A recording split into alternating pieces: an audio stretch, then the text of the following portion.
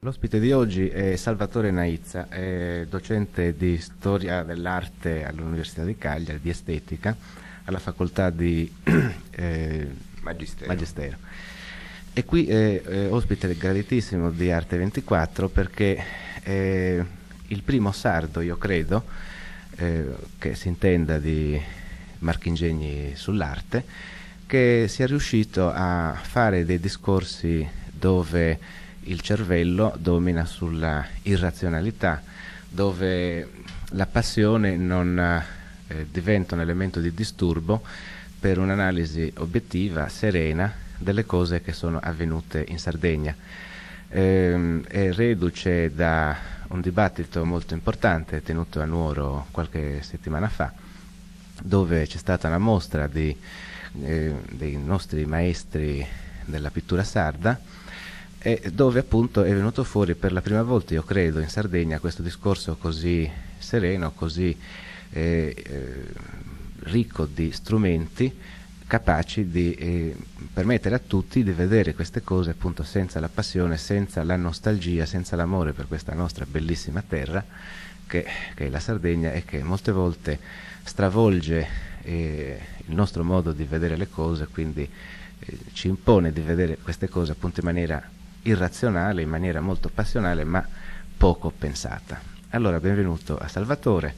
Eh, con lui vorremmo un po' riprendere il discorso di Nuoro per eh, allargare questa eh, possibilità di offerta di strumenti anche ai nostri amici di Cagliari. Probabilmente faremo, si organizzerà una mostra anche qui a Cagliari. Cosa dici Salvatore? Può darsi, anzi io ritengo che sia la cosa migliore da farsi Bene, è molto importante perché appunto ehm, per troppo tempo ci siamo cullati sulla sardità, ci siamo lasciati prendere da questa passione e così non siamo stati capaci di vedere nella realtà.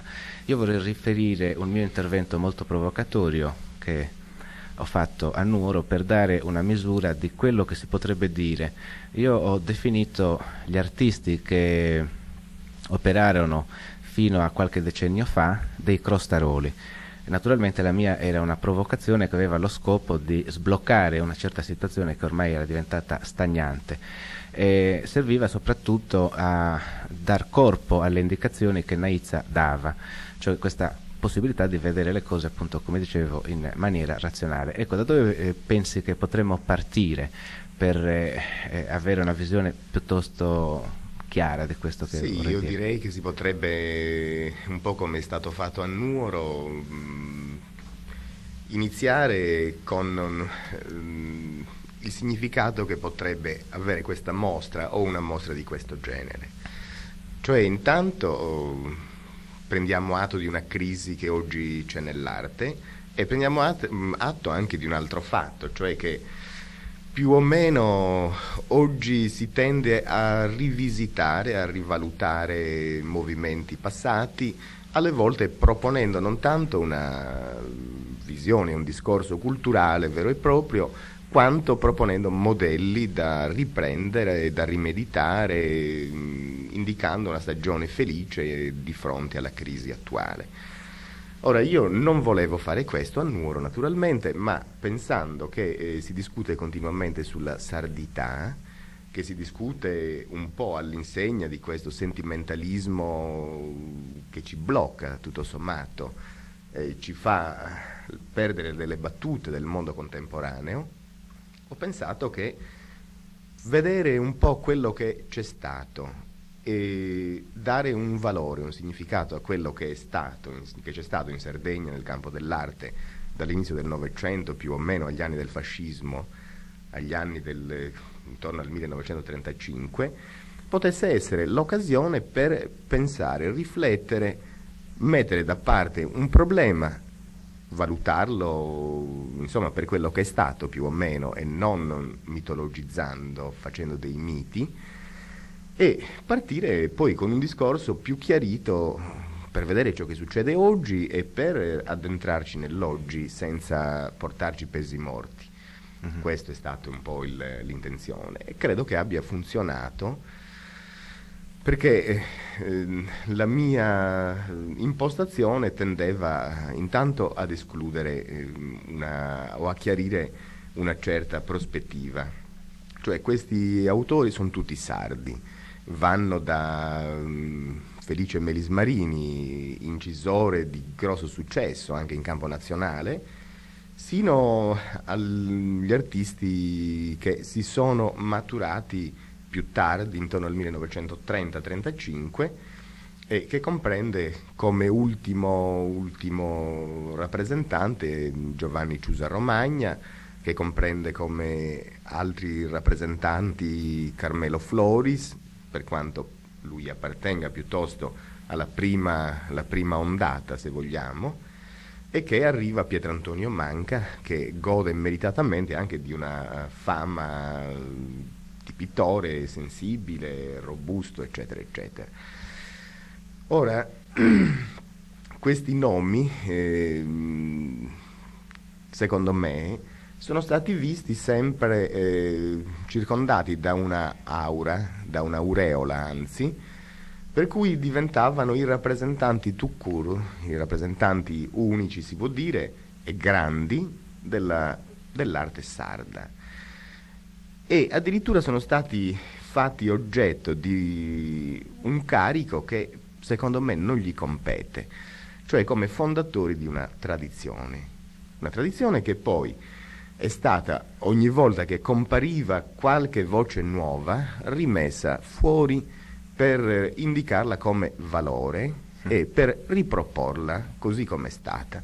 Secondo me queste sono operazioni sbagliate, antistoriche, che non ci fanno guardare nemmeno la realtà così come si è, si è svolta, non ci fanno partire con il piede giusto. Ecco, vediamo un po' di eh, capire da quali parametri si partiva per determinare questi artisti come artisti sardi, come rappresentanti di una cultura sarda e quali dovrebbero invece essere eh, i parametri per vedere questi artisti come operatori culturali e in che maniera la loro opera si colloca in un contesto, se vogliamo, ancora regionale o, se vogliamo ancora, eh, nazionale o europeo. Ecco, i parametri precedenti eh, su quali sì. basi si fondavano? Ora, eh, secondo me quasi tutti hanno equivocato perché eh, sono stati ritenuti fondatori di un'arte sarda in quanto il loro tema fondamentale è stata la Sardegna, cioè a livello tematico di soggetto processioni, campagna, la festa, il funerale, le nozze, erano viste eh, come dati mh, della Sardegna profonda, erano visti come gli unici dati della realtà, quelli qualificanti, non a caso, per esempio, difficilmente si trova in loro una città, si trova in loro una festa cittadina, un corteo, eccetera, eccetera. Hanno ripiegato sulla campagna, hanno ripiegato sulla zona dove la tradizione si è eh, così conservata più a lungo, anche per ragioni di sottosviluppo, diciamo chiaramente, e dove certe tradizioni affioravano ancora.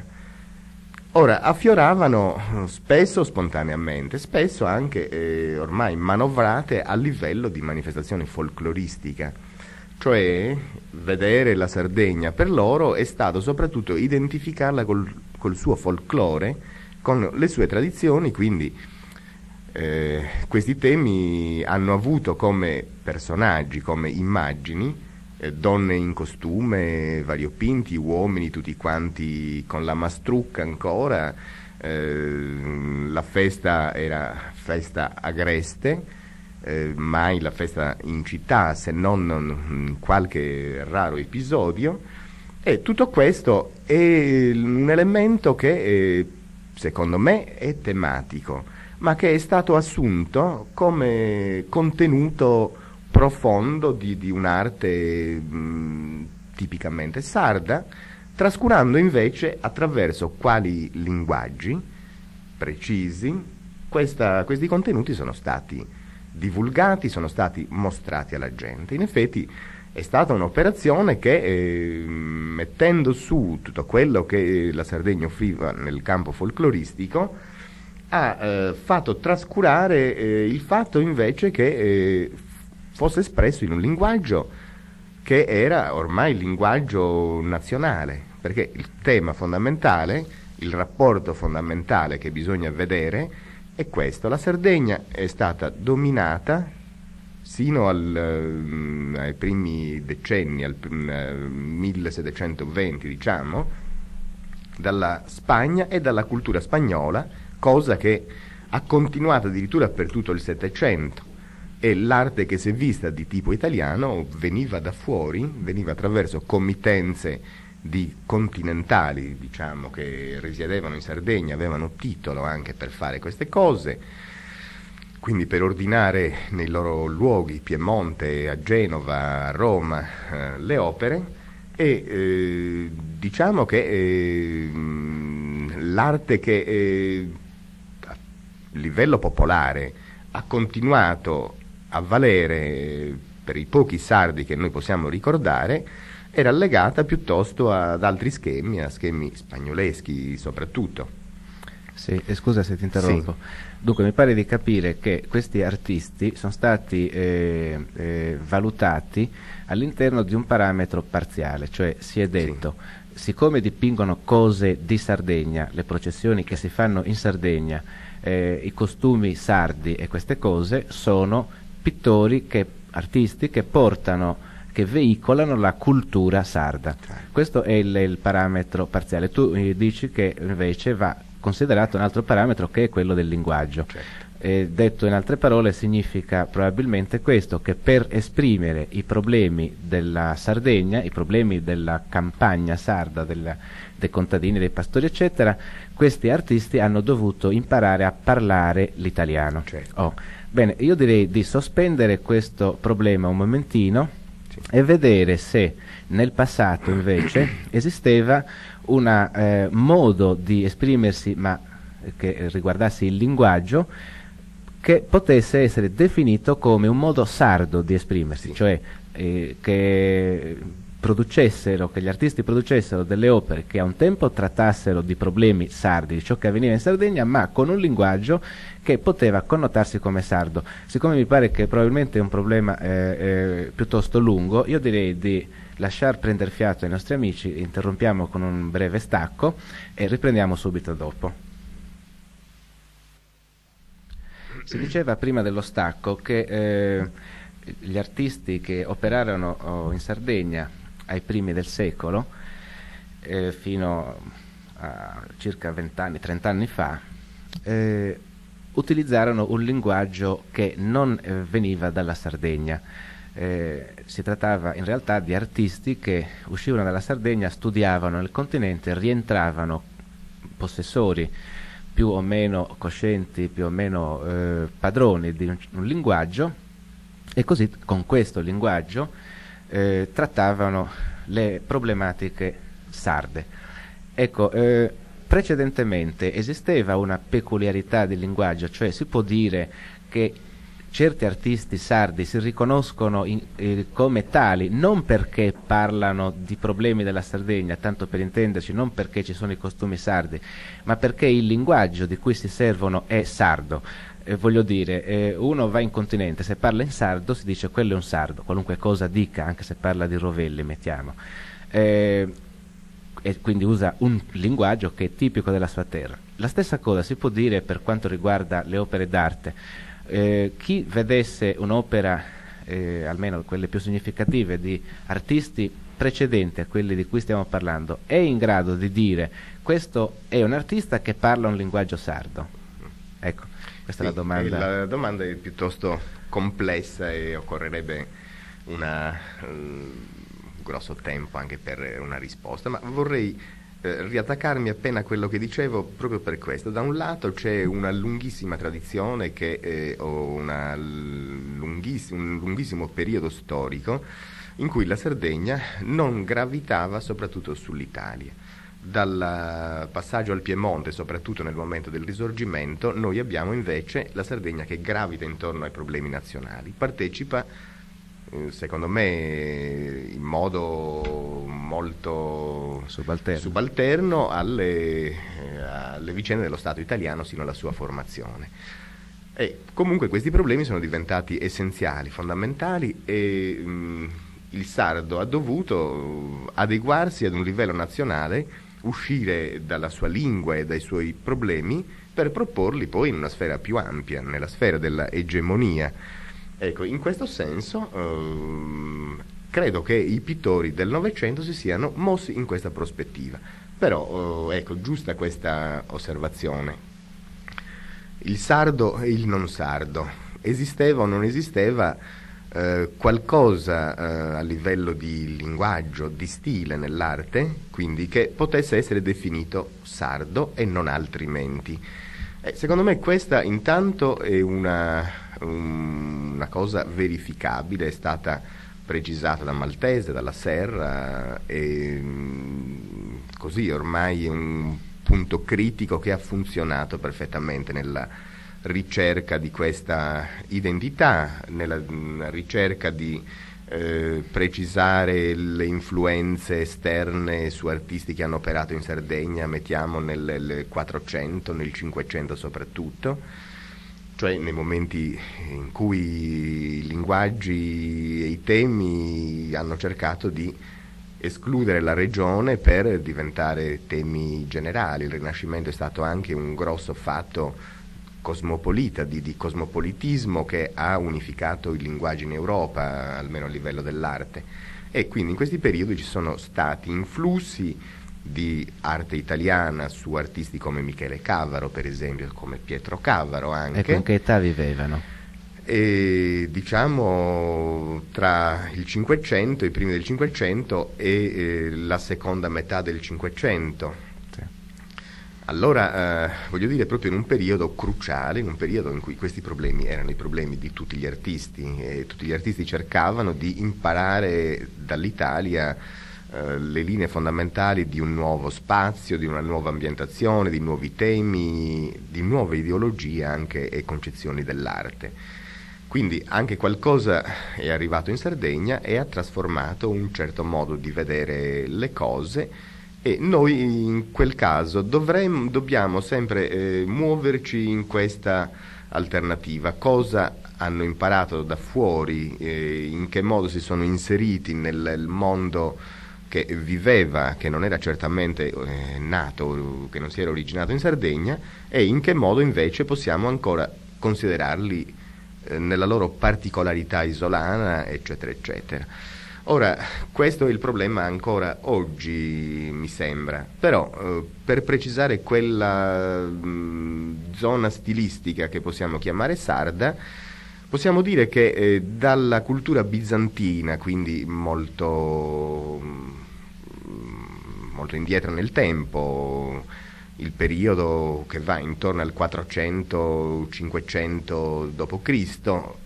e via di seguito, cioè periodo in cui è stata eh, occupata dalla, è fatto parte dell'impero romano d'Occidente, d'Oriente, e in quel periodo si sono determinate delle caratteristiche eh, che erano le stesse del mondo bizantino, cioè la ricerca di planarità, di solennità, questa assenza del problema dello spazio come entità mh, caratterizzante il, eh, il mondo figurativo e ehm, in Sardegna diciamo che a livello oggi diremmo antropologico a livello quindi della cultura antropologica, eh, la decorazione, i tappeti, eh, gli oggetti d'uso, eh, a questo livello sono stati recepiti molti dei caratteri ripetitivi, dei caratteri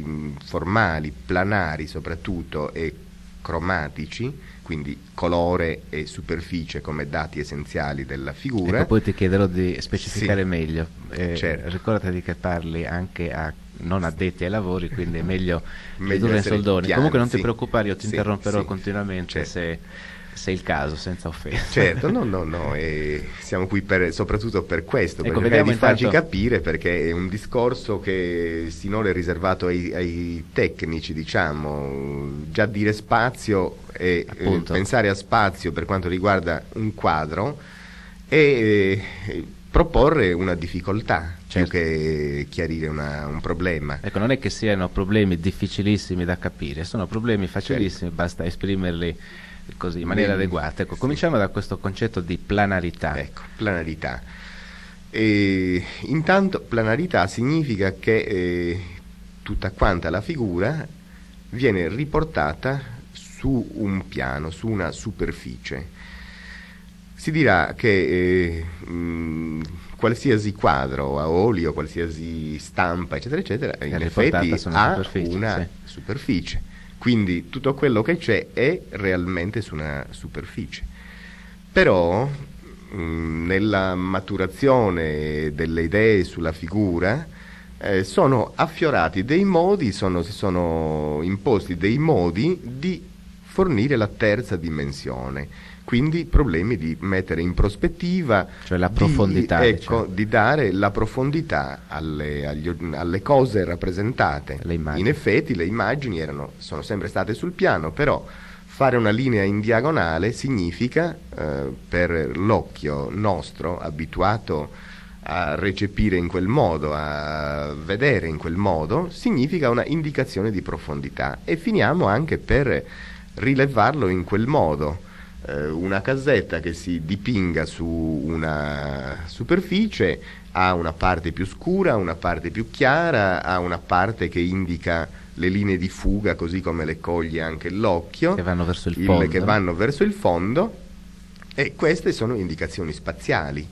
Ora, queste indicazioni spaziali in Sardegna non sono state mai un problema, non sono state neanche prese in considerazione anche quando si è fatto, e lo si è fatto nel Cinquecento, quando è penetrata di più la visione rinascimentale che puntava a questa, a questa mm, ricerca spaziale di indicazione della terza dimensione, quindi della profondità, anche allora si può um, vedere che eh, l'insieme delle, delle rappresentazioni, delle cose, degli oggetti rappresentati, nella figura non hanno quella compattezza, quella convergenza verso un unico punto di vista di fuga che hanno le opere del Quattrocento, per esempio, che hanno le opere italiane rinascimentali.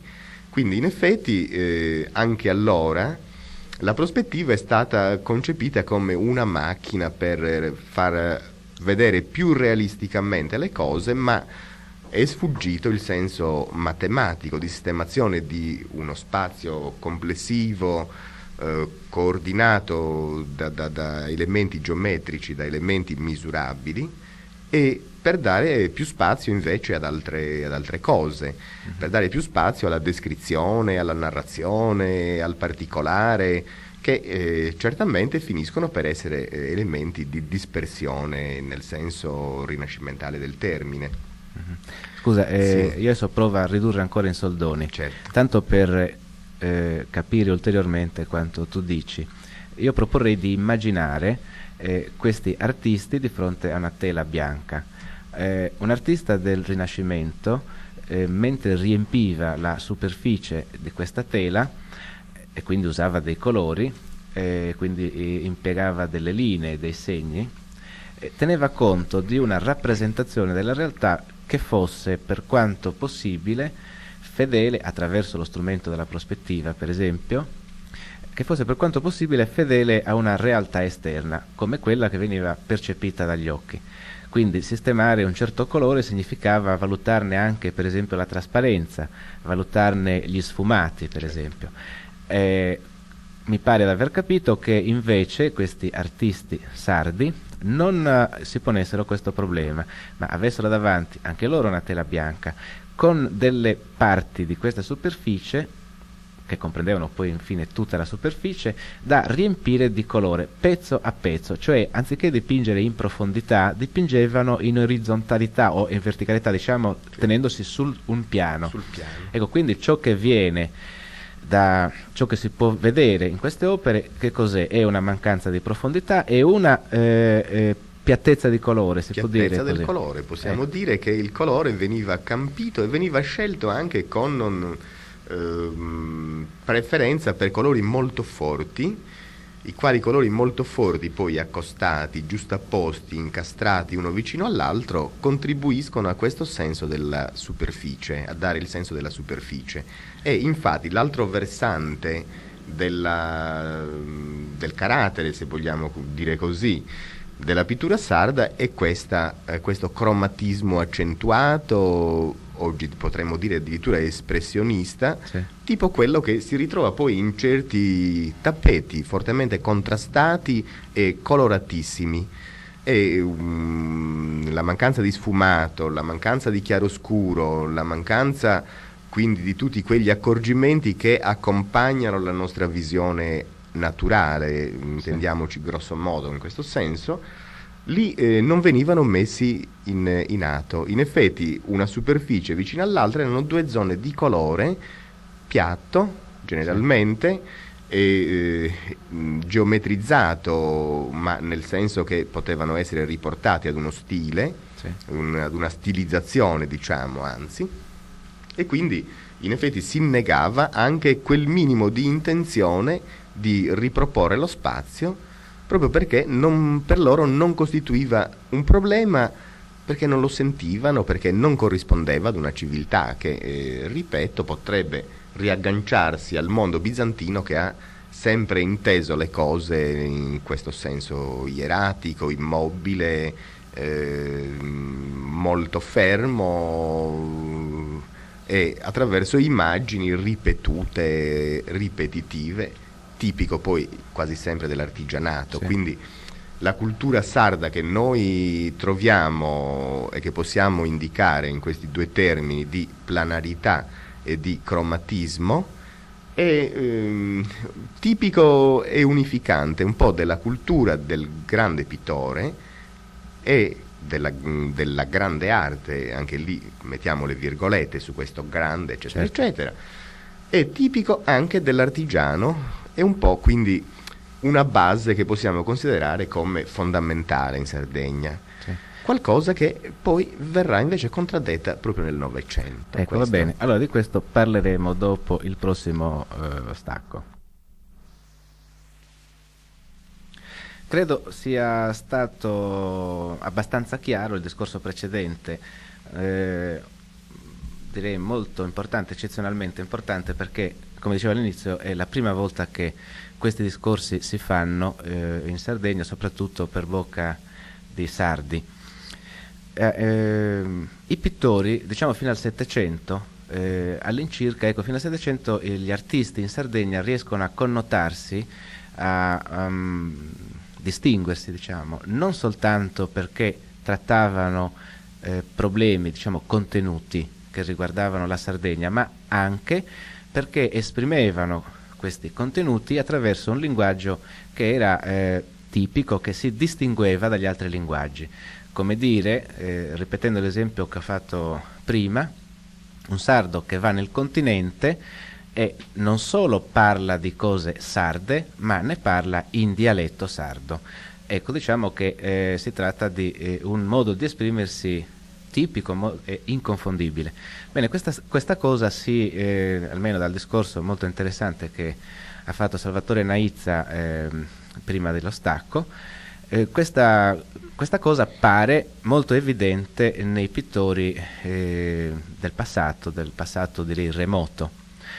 Oh, adesso io proporrei di rientrare in tempi molto più ravvicinati e vedere come e se gli artisti del nostro secolo sono riusciti a ehm, connotarsi, cioè a distinguersi in, in, quanto artisti sardi, ma non solo perché trattavano di problemi sardi, ma perché utilizzavano per esprimere questi problemi un linguaggio, un linguaggio pittorico ovviamente, che eh, fosse eh, sardo, che si potesse dire sardo. Ecco, eh, questo da, già dall'inizio sì. si diceva che non è avvenuto, anzi eh, si diceva che era uno dei parametri che non veniva considerato dagli esegeti della, della, dell'arte in Sardegna.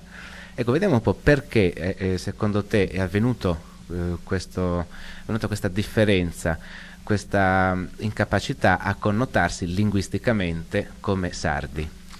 Ecco, io penso, ritorno alla situazione politico-sociale che eh, si è determinata in seguito proprio alla partecipazione alla costruzione dello Stato unitario, mh, alle vicende quindi dello Stato nazionale.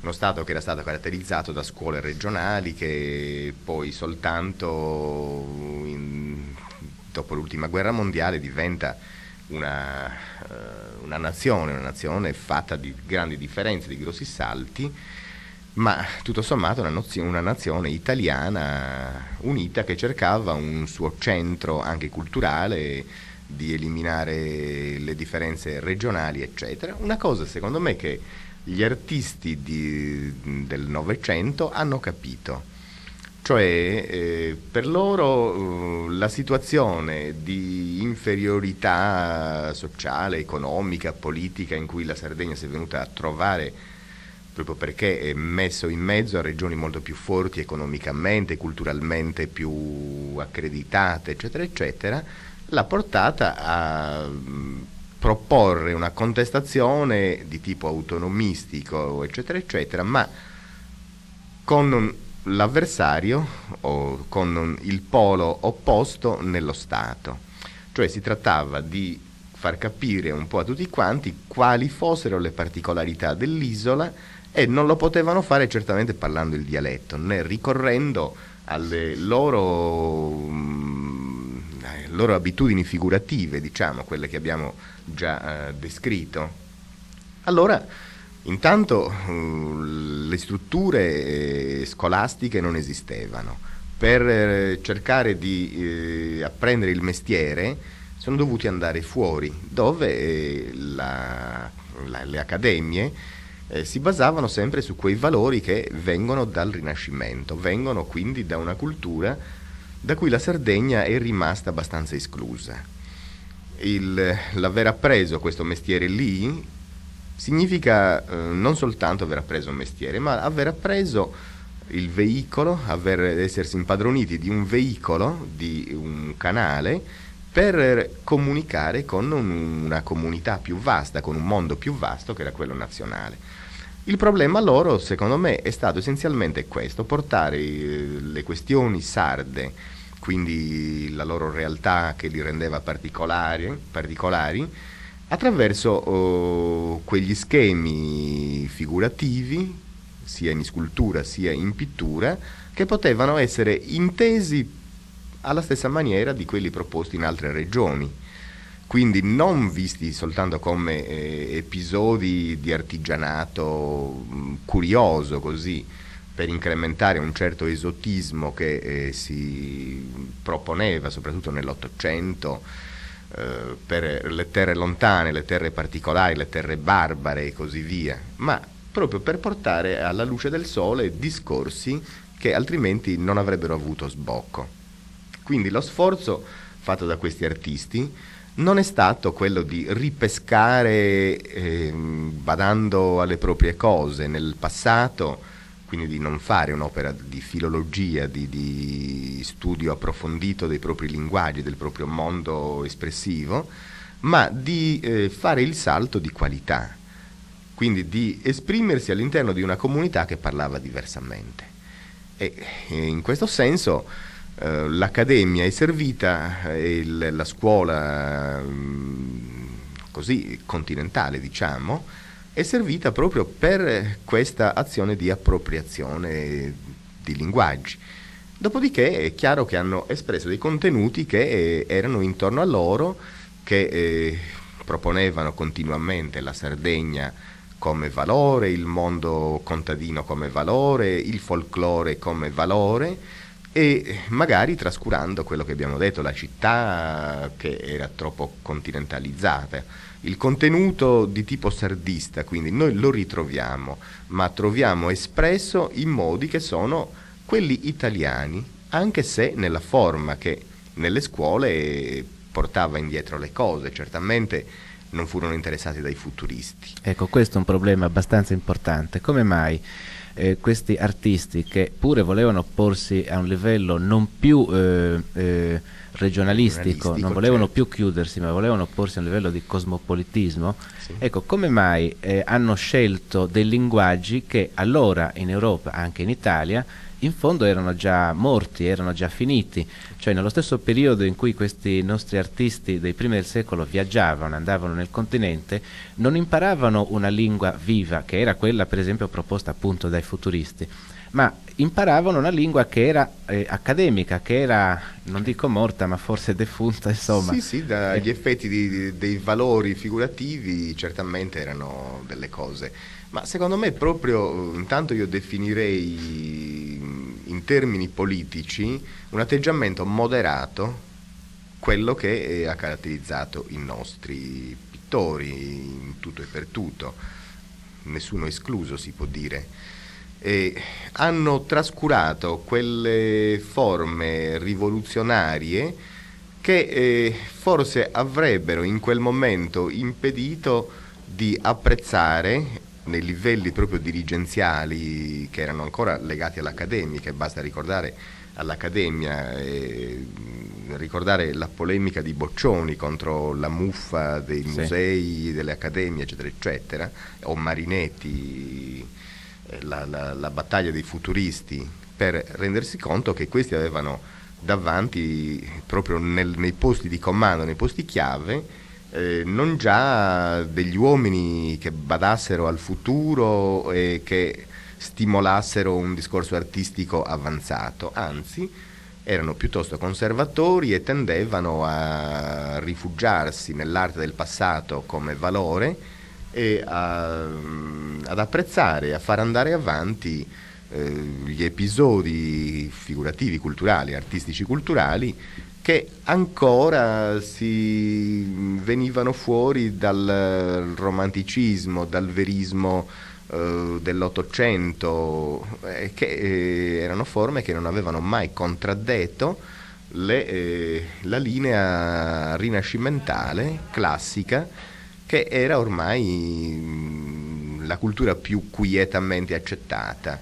Quindi anche i nostri cercando un livello di discorso che fosse all'interno di una sfera non, non troppo avanzata, hanno finito per trascurare, ignorare, eh, si può dire, il futurismo, cioè mh, le forme valide e nuove, per attardarsi in, in, quelle regole, per apprendere bene quelle regole che consentivano di, mh, di essere considerati come pittori nazionali, come del resto eh, io ritengo che in tutto quel periodo eh, anche queste manifestazioni clamorose come quelle del futurismo hanno intaccato soltanto in parte un certo orizzonte figurativo.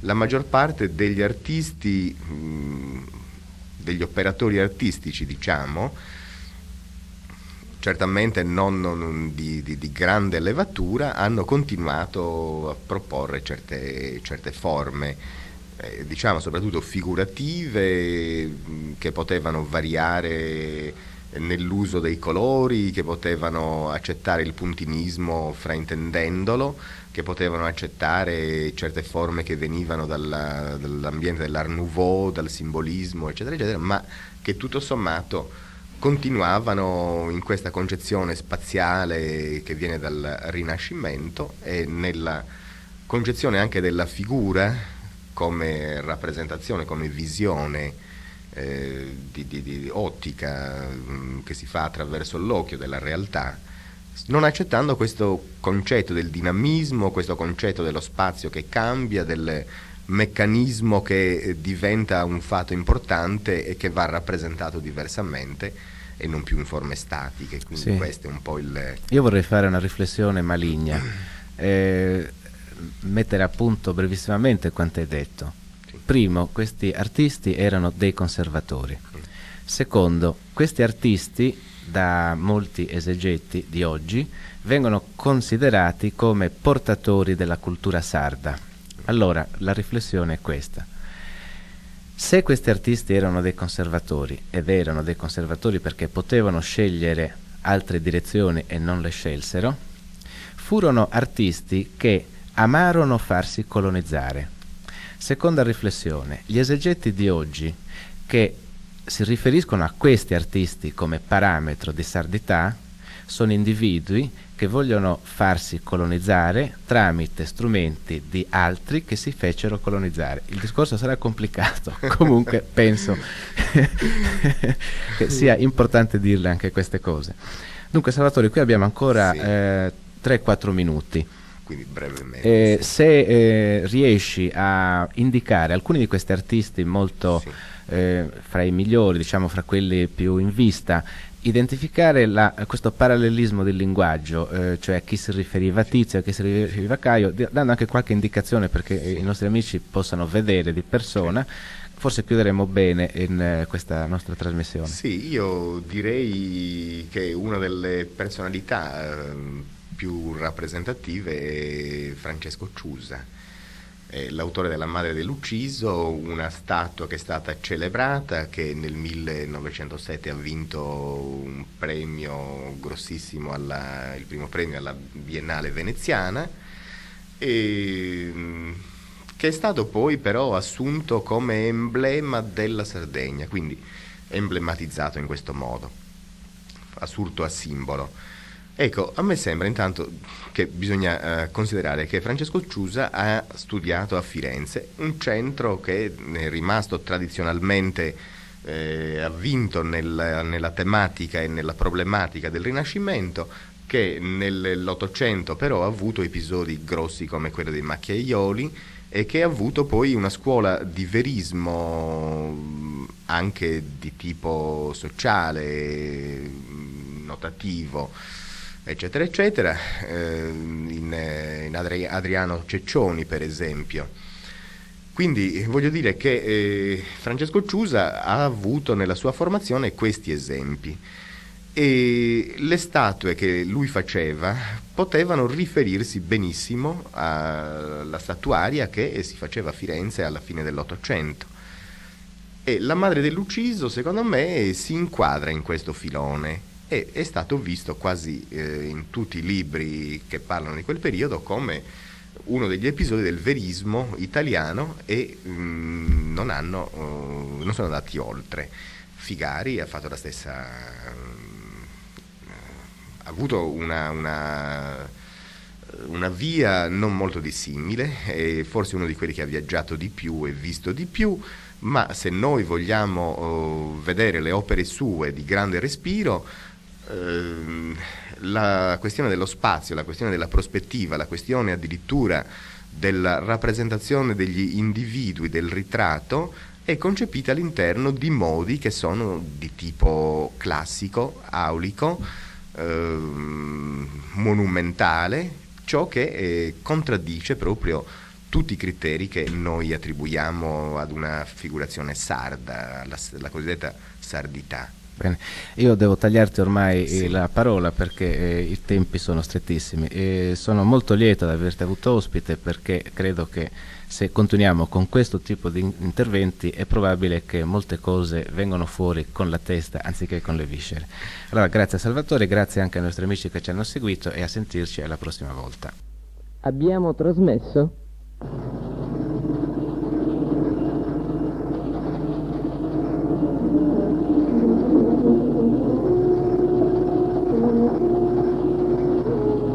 Arte 24. Divagazioni settimanali sull'arte a cura di Tonino Casula.